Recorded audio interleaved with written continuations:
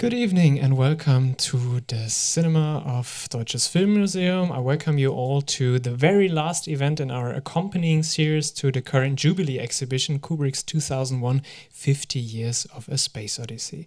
Our current Jubilee exhibition lasts until uh, next Sunday, so um, the 23rd of September. If you haven't seen it yet or want to go there another time, uh, you still have a couple of days the opportunity for that. And we will also have another very last screening of 2001 A Space Odyssey in this cinema next Wednesday on the 19th of September at 8:30 p.m. So if you want to have uh, seen Kubrick's classic once more on the big screen. That's the last opportunity accompanying our Jubilee exhibition. It's my great honor and pleasure to introduce tonight's special guest um, to you. Uh, we will have the possibility, some time for um, discussion and Q&A after the screening of Tony Zierra's uh, last film, Film Worker, uh, featuring Leon Vitali. And please join me in welcoming Tony Zierra.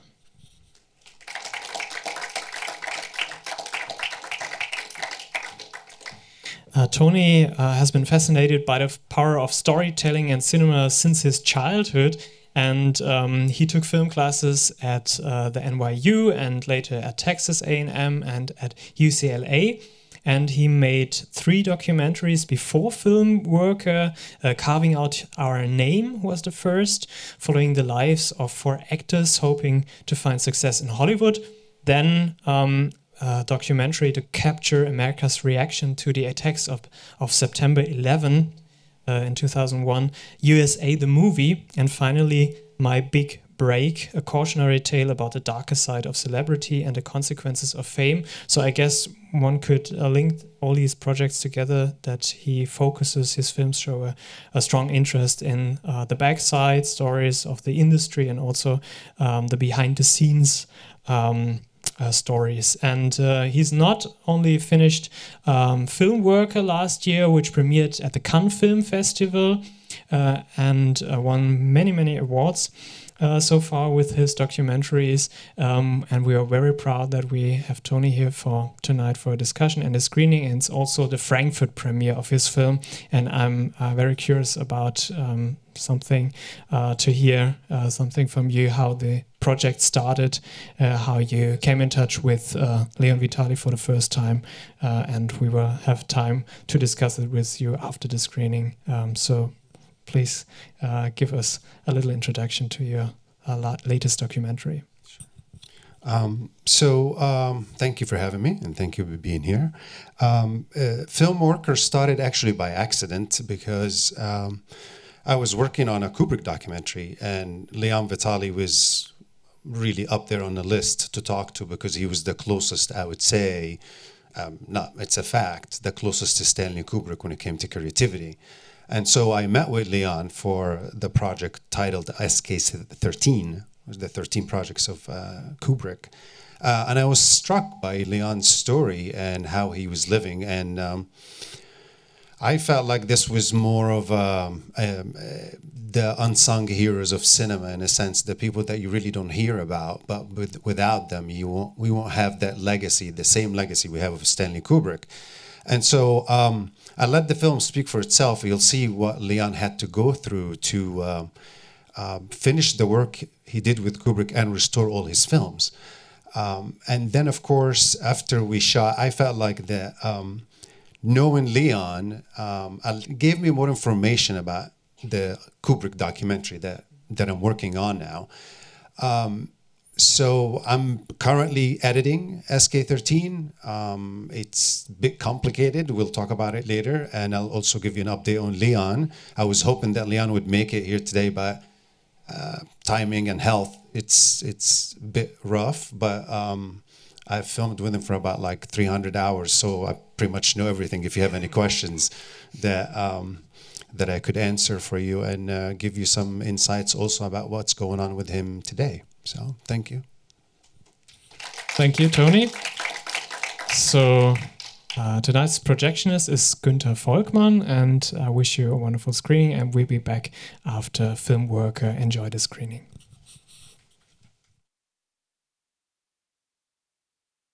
Sorry. So um, thank you so much, uh, Tony, for bringing this this film to us. It's a Frankfurt premiere tonight, but you've already uh, screened it once in in Germany at the Munich um, Doc Film Festival. Yeah, but I wasn't there. You wasn't there.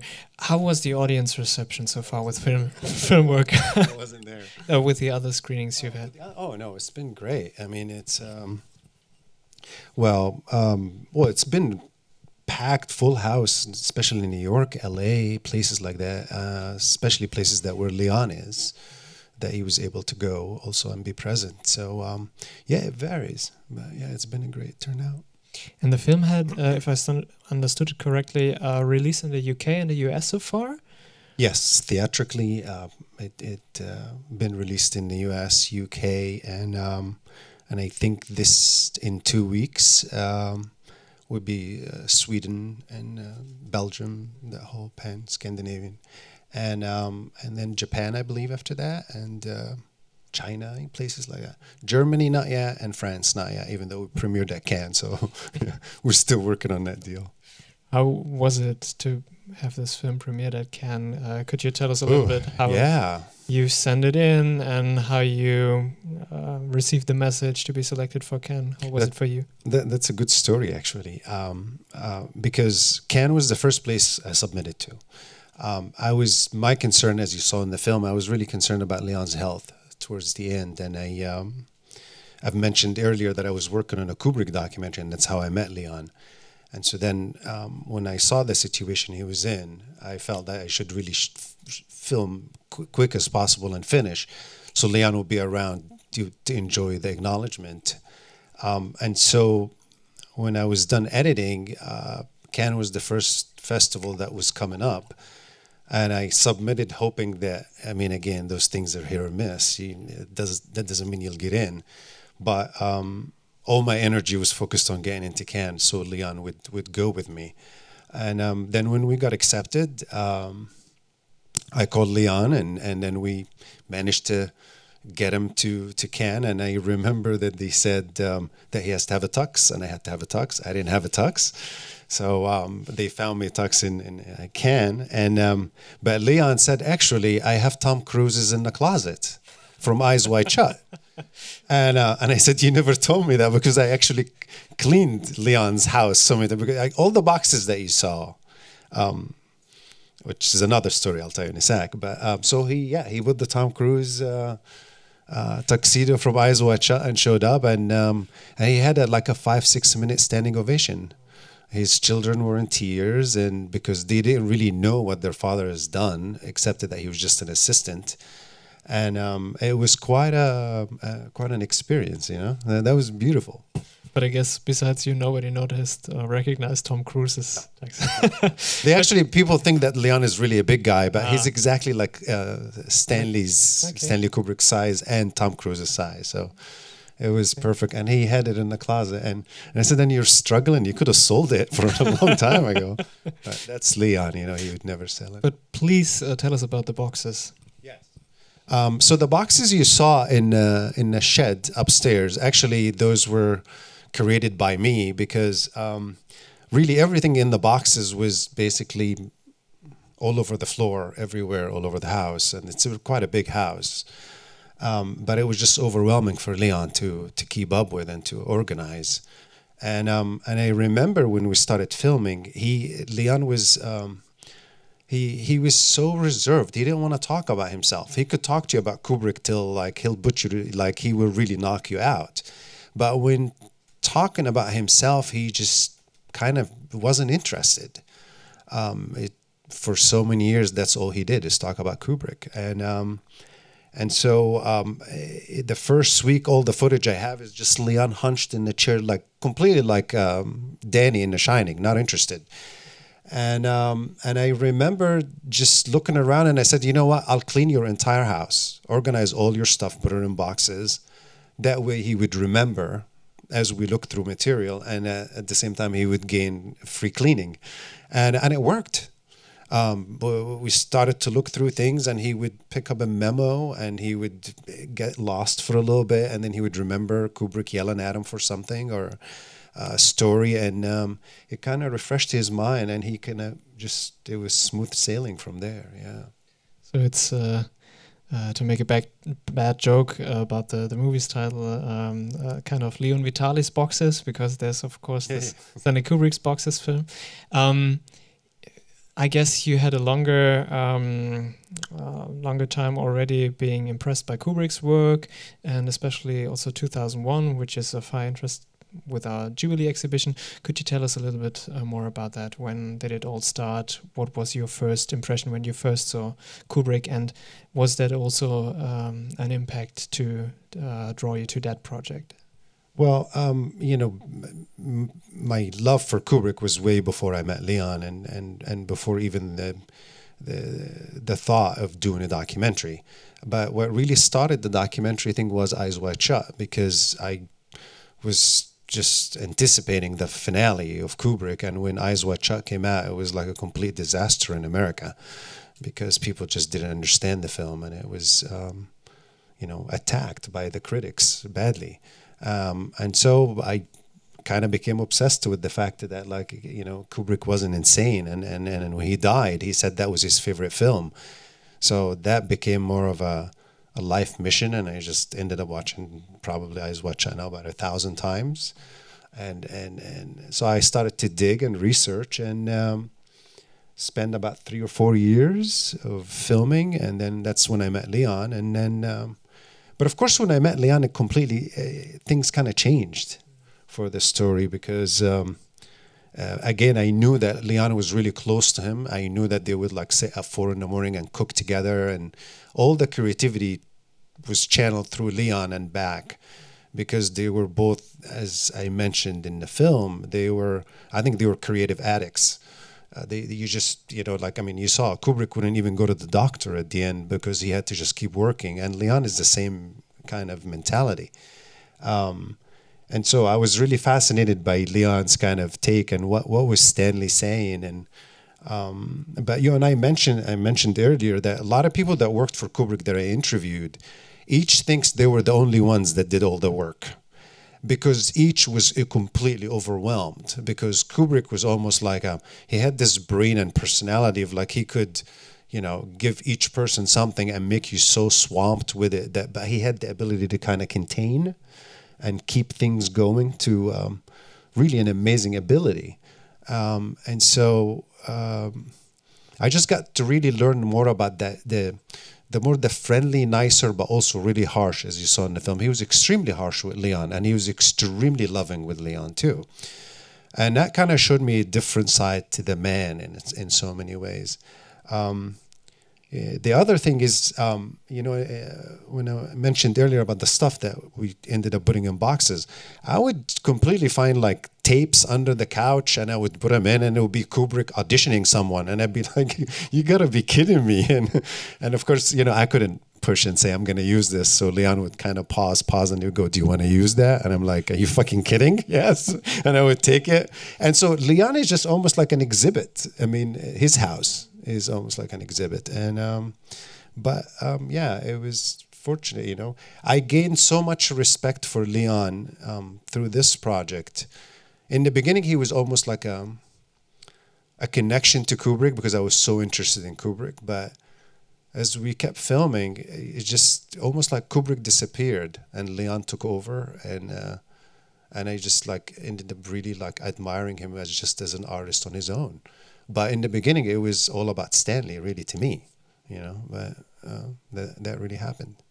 And due to your film, um, is there some, at least some recognition giving back to, to Leon now that it's screened at many festivals and yeah. as a release? Yeah, yeah. I mean, um, the the latest was, I mean, I know at Cannes, they even um, um, the press, um, I think it was um, um, uh, the Washington Post, New York Times, they said that the moment, just his standing ovation was the best moving moment at the festival. Um, when we got back, we screened the film at the Academy, and um, Leon had a standing ovation, and they said they've never given a standing ovation for um, a documentary because Academy members tend to be a bit snobby, or I don't know, like very serious. Um, and uh, but since then, they actually agreed to they recorded his oral history He's also now a member of the Academy uh, since the movie was done, and uh, they have restored and preserved Filmworker in their library. So, and so Leon has been really invited in a lot of places to speak. Uh, to, um, you know, when he has a, a, screening, he's always surrounded by people for a couple of hours. When it's over, I mean, um, it uh, his health completely changed too. As soon as the movie came out, uh, he's much better now. Um, I was told, I think, towards the end that to, to call his children that he had like a week to live, and then once the movie came out, he's doing a lot better, actually. I've just uh, recently already mentioned uh, um, Stanley Kubrick's boxes. There are so many other Kubrick's films out, especially during the last years. Um, well, there had been, of course, this this um, biopic uh, on the uh, Alan Conway, uh, Color Me Kubrick, uh, that we've also screened here in the accompanying series. Then there's Jan's um, Jan Harlan's documentary, A Life in Pictures and there are so many others, S is for Stanley or The Room 237 by Rodney Ascher. How would you contextualize, how would you position your um, Filmworker uh, within this context? Better, better than all of them. I'll tell you why. no, no. Um, it, it isn't really about gossip or anything. I think it's really about Kubrick's creative process. I was really interested in more of like what made him think of what the amazing things that we see, how he, his brain worked. And um, but uh, Eyes Wide Shut towards the end it really has a personal um, um, connection to Kubrick. Kubrick, the the the filmmaker, the early early filmmaker. I mean, he owned the material since Spartacus. Um, and he's always been going around telling actors, including Ryan O'Neal, he pitched to Ryan O'Neal uh, Eyes Wide Shut, and uh, actually Ryan O'Neal said that the pitch was is that the guy goes to the morgue and the woman is dead. He pulls out her body and he reaches over and kisses her, and then she wakes up and grabs his head. And that was the original pitch for um, for Eyes Wide Shut, which that didn't happen in the story. He was always thinking about that film, but there is a really huge connection between that and the original material that I discovered with Arthur Schnitzler, of course, and uh, being Jewish again in New York at the time after World War II and that film is extremely personal to him. And I, and I, and I, and I found what it is that he said that was his greatest contribution to the art of cinema. That's a big line from somebody like Kubrick to say that again made 2001 Space Odyssey let's say. Um, so there is a lot of um, big surprises but also there is a lot of controversy around him because um, R. Lee Ermey in the film he swore that Kubrick told him before he died that uh, Tom and Nicole ruined the film for him and that the press is going to destroy him. Um, um, I did ask Ermey. He said, yes, that's what Kubrick said. But then other people said, no, that's nonsense. So there's a lot of Scientology, obviously, is there. Um, there's a lot of weird stuff in the film, and there's, you'll be surprised. Um, you'd be surprised, but I can tell you this much: it's uh, uh, I think it's a Kubrick movie that hasn't come out yet because there's so much in it that hasn't been seen yet by the audience or understood, and I think that's why, I, and uh, you know this really well. Kubrick's stuff is so layered because he researched so much. I mean, the, the intensity of his research is really un, unheard of. And so every time you see his movies, you see more because the stuff is so layered. Um, and Eyes Wide Shut just really goes way beyond what you see on the screen, and um, and um, that that to me is exciting, you know. Uh, coming back to Filmworker, um, was it difficult for you during the filmmaking um, to keep a critical distance to, to the subject and or the object uh, in a way um, because of your own affirmation for, for Kubrick and Leon? Yeah, I mean, a lot of people still watch it and they go, "Oh, you know, Kubrick was such an asshole," or something like you know when they see Filmworker, they go, "He mistreated Leon," but you know, it's. Um, I I saw the opposite because I think it's Kubrick did the same thing to himself because um, they were both. Kubrick wasn't one of those that sat on a chair and said action and go get me a cup of coffee. He would really be the only guy alive, like awake with Leon at two in the morning, and everybody left, and they would work and just keep going and keep going and keep going. So and and I like the line that I kept in the middle of the film when Leon said because he did he gave everything to what he was doing, and and I think that really is what makes the story so unusual. It's that it wasn't a, a one-sided, one person is giving and the other one is just more taking advantage. Um, uh, but of course, Leon should have been, I still believe, taken care of in so many ways. But all that happened really after Kubrick died, and it gets really complicated when um, when somebody's like Kubrick's status in a sense that um, you know some people also didn't want to come out and and be filmed uh, for this project because either they felt like I'm not gonna come I'm too big to talk about an assistant and some people actually made a point wanted to come out and talk and um, could you give us some examples maybe well Tom wouldn't do it mm. Tom Cruise wouldn't do it and yet they're really close but just mm. because again Tom it's like let's say um, uh, you know, Leon was just another worker running around. To him, he's he's like a nobody. Why is Tom Cruise gonna? Um, but Ryan O'Neal, let's say, the reason he did it is because he really looked at Leon as a co-star from Barry Lyndon. So that was more of a, or Danny in The Shining. Danny doesn't talk to anyone. Yeah. But when he heard it was Leon, he, uh, R. Lee Ermey is the same thing. You know, he said if he, you know, it's only Kubrick and Leon that he admires in his whole entire life and career. So um, so it, it's kind of but you know people also said well why didn't you film with people from the state from the Kubrick state? But again it's it's a bit um, I don't think they want to sit and talk about an assistant. So it's kind of you know funny a bit you know?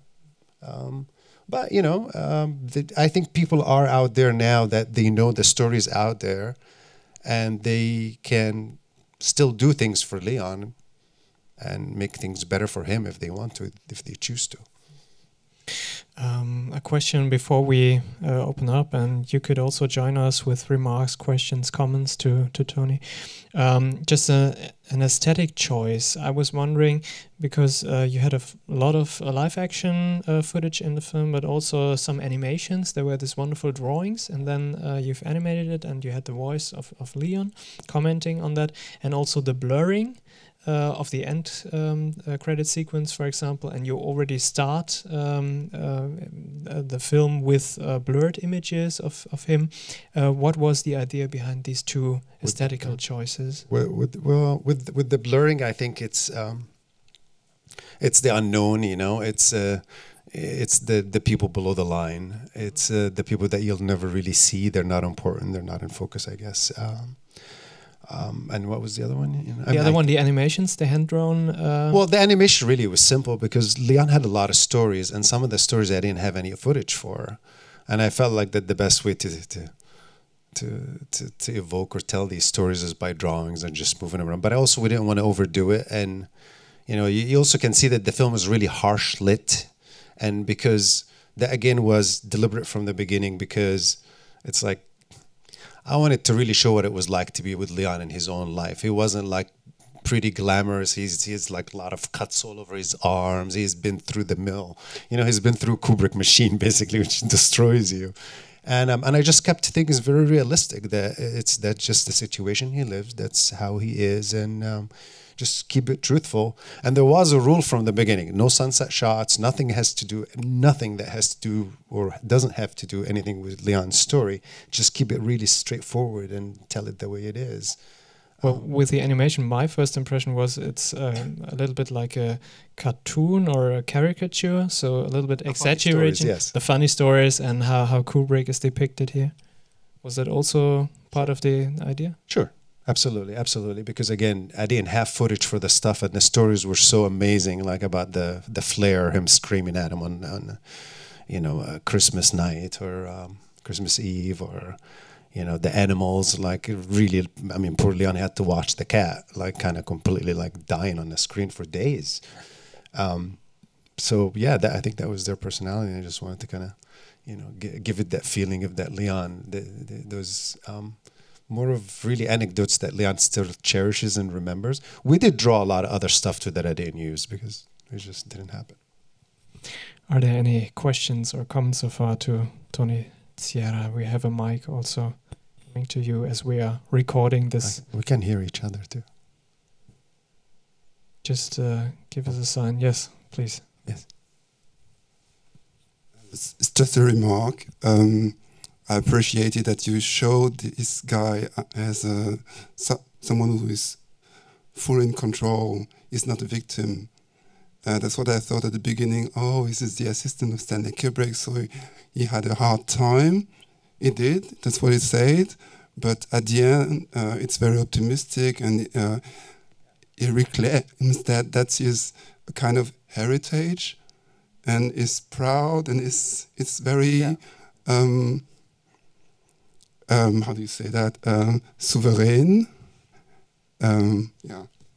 No, I appreciate you said that because um, that was also the um, um, from the beginning, and we used it in the opening, which is you know he's walking blurry, and you see he looks at a map, and it's really at the end, like Leon said, is um, it's about it's not about the destination, it's about the journey, and he said that he lived an extremely amazing journey, and and we you know um, I live in L.A. and and Hollywood tends to be also you know you meet a lot of people that are like film crew people and they always kind of they, they never really want to tell you like i'm a gaffer or i'm this. They're almost like i'm just they always say i'm just and it's always i sense they always feel like you know there's just they're not appreciated by the industry or by people. And um and and and i think leon shows that really like it's about the journey and leon really contributed so much and people like leon contribute so much to filmmaking that um, and I love that he's so proud of it in the end. And so yeah, so thank you for seeing that. And it really came to you as a surprise in pre-production that uh, Leon is also living in LA. So you didn't know that before.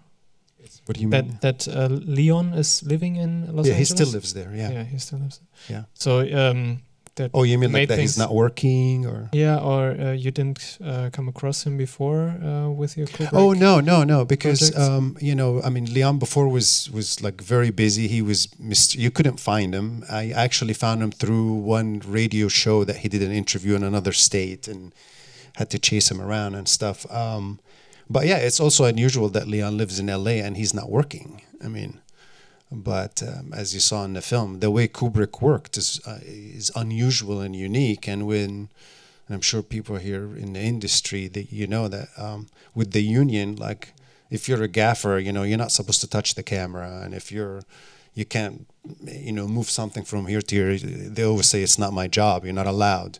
And he just that's not how he worked. Kubrick put him in every field, and um, no one works like Kubrick, you know. I think we have another question. Uh, yes, uh, you touched upon that briefly when you spoke earlier, but I was wondering, Jan Harlan, did he not want to um, contribute to your film? What?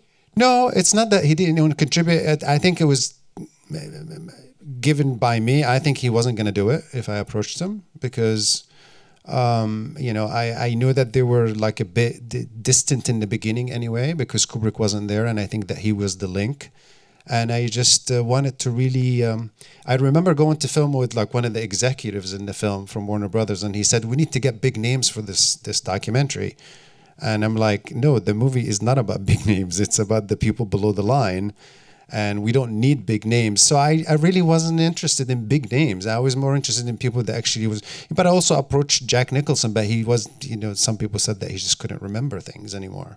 So um, I just it was more of a really creative choice to keep it um, below the line in a sense and just bring some of the bigger names to to kind of um, um, vouch for the fact of like Leon's abilities and the things he's done. You know. Uh, was it easy mm, at the beginning to um, talk to Leon, and uh, was it easy for him to open up for the interviews? Well, yeah, I remember like that's why we had to clean the boxes because he just wouldn't talk. Um, you know but also to answer i did show the film to to the kubricks at their house.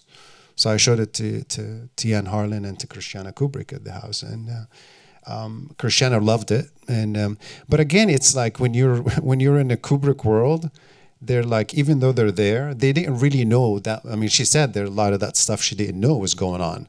Because again kubrick is just go on and on and on and on all day long that you have no clue what's happening around you and um, but she did say to me at the end that she said also Stanley and her were both puzzled why Leon gave up acting to be with Kubrick, and and I was really amazed to hear that because he was puzzled by that. because normally no one wants to do that kind of work, especially if you experienced being an actor. It's much more, uh, I guess, more glamorous. So Kubrick was really amazed by that. But I think he really loved Kubrick. Uh, it was almost like that father figure or somebody that he really admired creatively, that he would have done anything for him.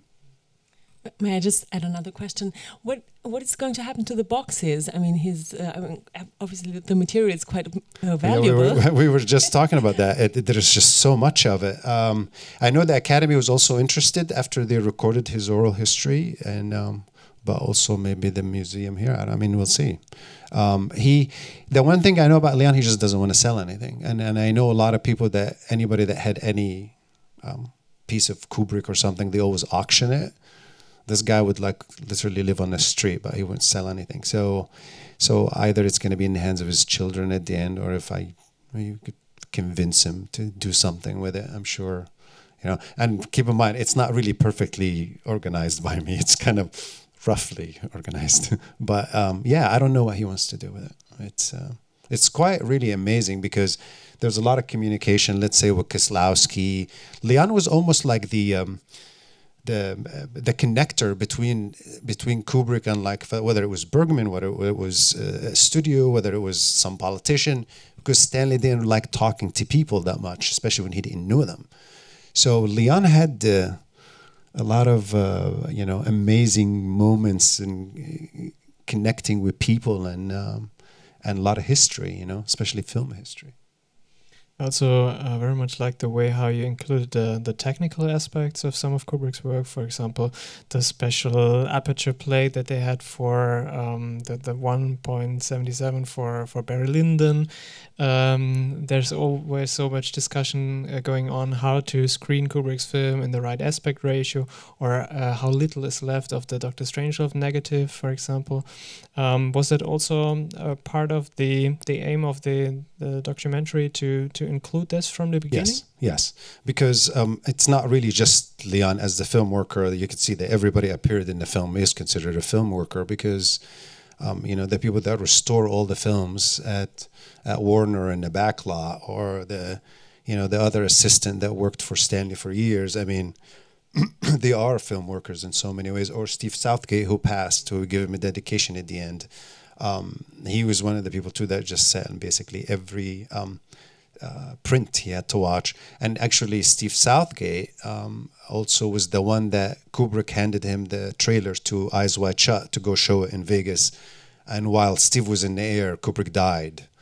And uh, this is just like a long story. So they all represent uh, one way or the other another dedication, you know, of, of, of someone with um, um, their just their contribution to cinema, you know.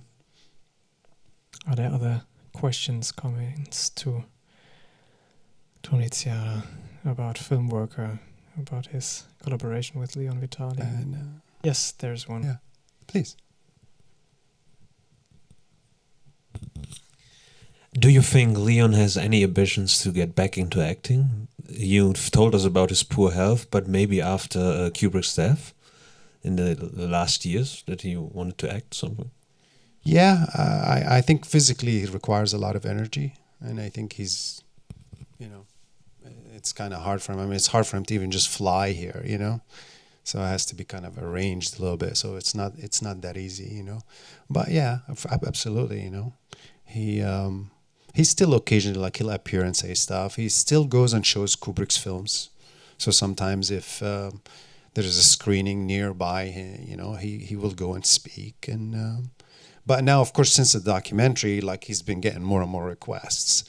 So um, we were just at Traverse City where um, Michael Moore runs the festival there, and um, actually Michael Moore every year has a uh, his festival where he has a surprise where he, sur- he picks something, and I think this year he picked Film Worker, so he brought Leon, and we had, uh, you know, um, uh, what I think it was like about maybe over a thousand people or something, and it was a big discussion about Kubrick and stuff. So he's getting more and more recognition out there, and um, but as far as acting, maybe if it's simple, sure. I think he still loves acting. You could see it, you know.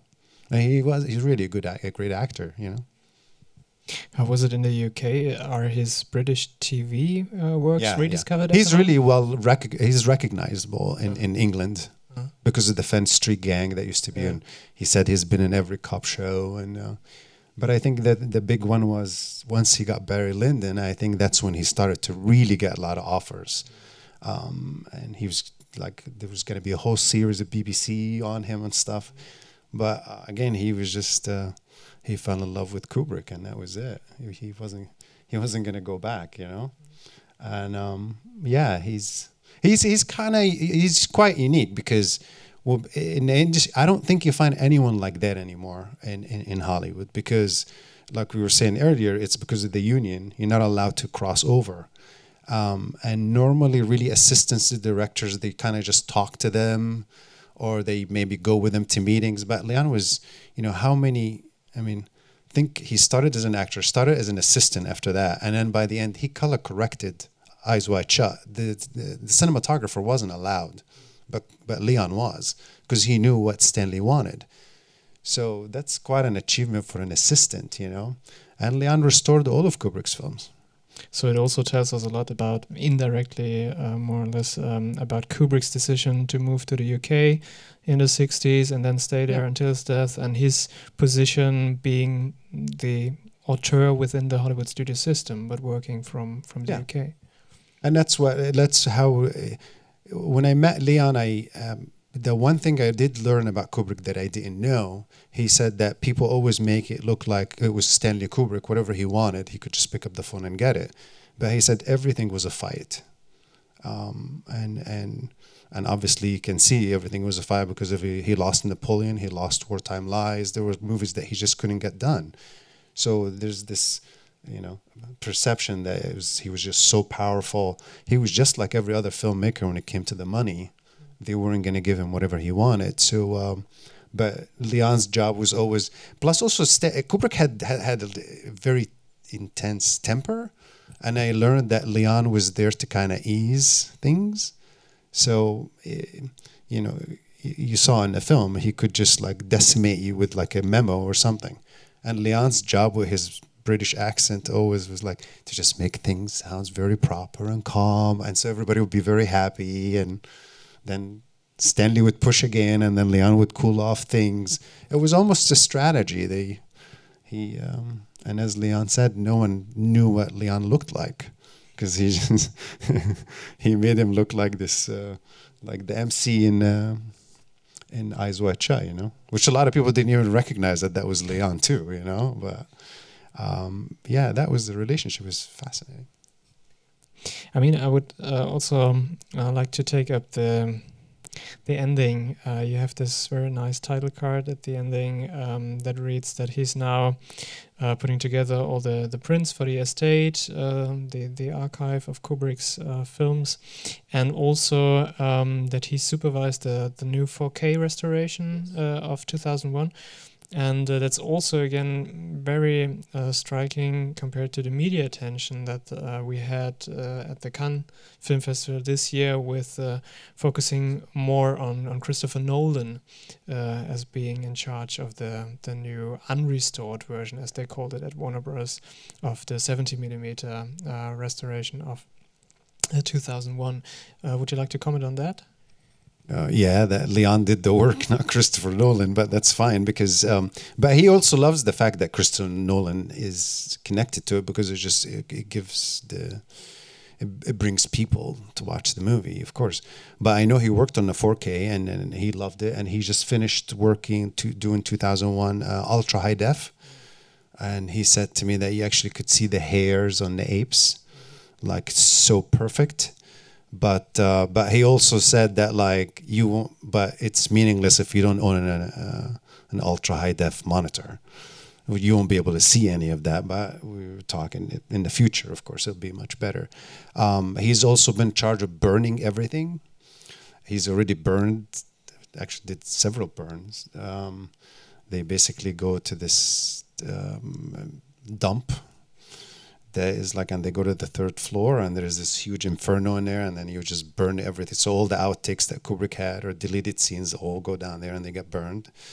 Um, uh, I was gonna film one of those, um, but I don't know if I could have s- stood there and just watched the stuff burn. I mean, that would be too much. Um, but that's what Kubrick wanted.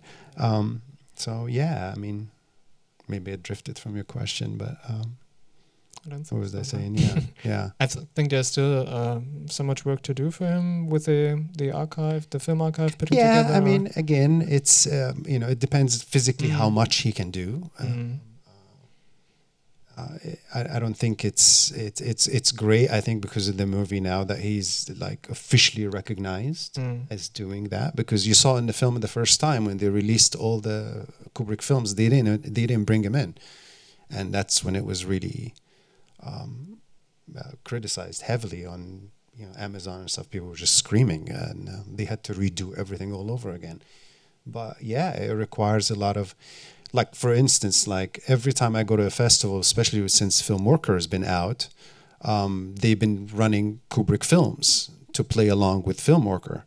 Um, and I'm, I'm again amazed that some of the prints look really bad, Kubrick films, you know.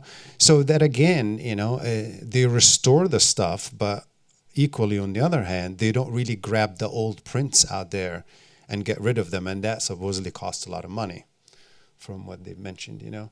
And so, you know, I mean, for researching Kubrick for so many years, he didn't he he he, he didn't really care about exhibits and things. He he was obsessed with his movies, the quality of how they're shown, and um, so I think that's something also that like somebody like Leon is valuable for. But you would because what's the point of restoring and then you still have bad prints that like scratchy noise and scratches all over the print. I mean, I saw one one was Barry Lyndon and. Um, and another one was uh, Eyes Wide Shut, and it was the original one with the masks. You know, the digital masks that we put in the U.S. that kind of really ruined Eyes Wide Shut, actually. Um, so yeah, that kind of thing, you know, is um, there's plenty of, for them to do, you know. Just to uh, wrap up, a final question. Um, you've been uh, together with Leon Vitali to the Stanley Kubrick exhibition, right? How was it? Could you Oh, tell us a little bit about this special yes. experience? Um, yeah, I'll share with you that. Um, well, the cou- couple of stories that I can share with you. One is he was, no offense, he was the best tour guide, of course, because he really and, but um, yeah, he's he took he probably went about forty times, at least forty times. What struck me when I was there is seeing him standing in line and paying for a ticket, because I thought. mm, Somebody like Leon shouldn't really be paying um, because again he was completely ignored with that exhibit. They didn't. And then the second thing i thought was really amazing was that we were walking around and I, he's, he would say I, I used i used that typewriter. I used to sit on that chair.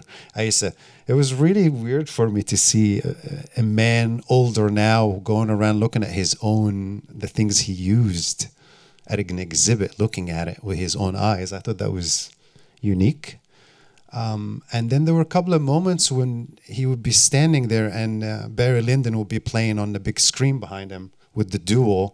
And somebody walked up and recognized him, you know, even though he really looks so different now. And um, it was just so beautiful to see that, you know, occasionally someone would recognize him. Other times people would think, oh, there's this guy walking around. And, uh, and, um, you know, but I think since the movie came out, LACMA has been like, like in trouble for because that wasn't really cool what they did that they didn't invite him you know?